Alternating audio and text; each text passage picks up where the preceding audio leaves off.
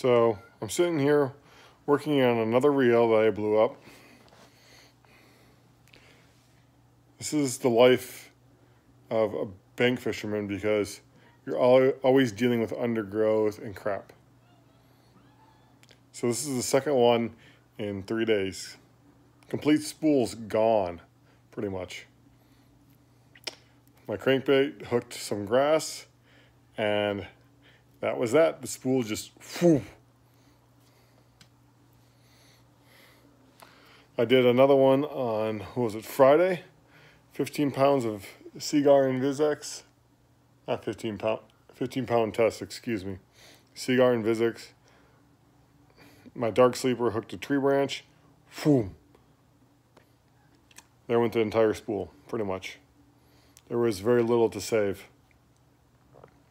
And what I did save, I used as backing for the new spool of 15 pound Seaguar InvizX. And this here is Sunline FC Sniper, 12 pound. trying to throw jerk baits and small cranks and stuff. So I'm sitting here and I'm looking at it, I'm working on it, trying to calm down, trying to not be so angry and frustrated with myself. Some of you may not know this, and some of you who watch know me really well know that I'm a devout Christian. When I say Christian, I don't mean the kind that sits back and judges people, but the kind that looks at my life and examines my weaknesses and areas of growth and tries to show compassion and empathy to others and to live a life that is what's the word I'm looking for? Christ like, as we say in the Christian faith.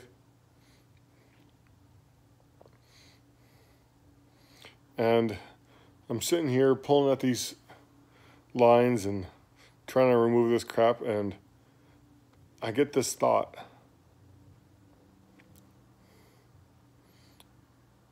There's this reference um, analogy in the Bible that talks about how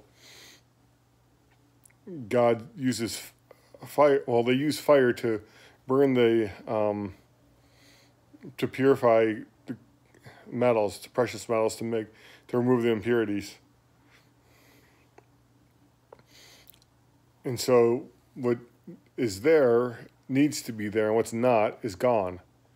And I'm looking at my fishing line, and I'm looking at my the line I'm pulling off and what I've got left to do. And it's just like, there's a lot here that needs to come off. And I'm thinking to myself, after I hear that thought kind of dance across my head, it's like, there's a lot that doesn't need to be here that is here in my life. So, especially during this time with pandemic and everything and COVID and like we're all stressed out. We're all freaking out. Right? We've lost loved ones. Our, you know, we've seen friends and family members get hospitalized because of this, this, this disease. Dang. You know, jobs are lost and there's a lot of stuff happening. This is this is a rough time for everyone. At the same time, we're all getting pruned as Christians. We're all being, we're all examining our lives and looking at, hey, what doesn't need to be here, or what can go. So, be encouraged. You're not the only one out there. It's all right. God is good. We don't have to be perfect. And Go out there and fish. Enjoy it. Like right now in Minnesota, the colors are phenomenal. Like that's where I am. And I I was out Friday, I took the day off from work, caught some pretty small smallies, like super small, like almost micro smallies.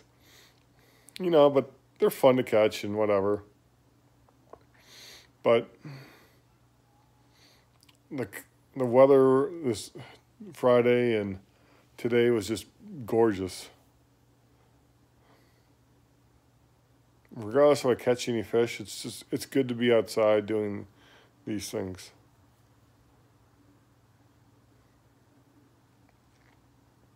So take care guys, keep fishing, keep your head down, keep your chin up, do your job if you're working still. You're in school, obey your teachers. Listen to your parents. I know this is rough on all of us. And I know it's tough on the kids in school and in college. Like, no one could have planned for this. And we're trying to learn on the fly.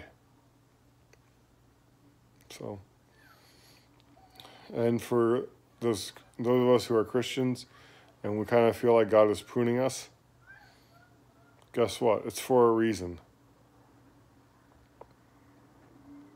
So keep the faith, fight the good fight, and one day it'll all be worth it.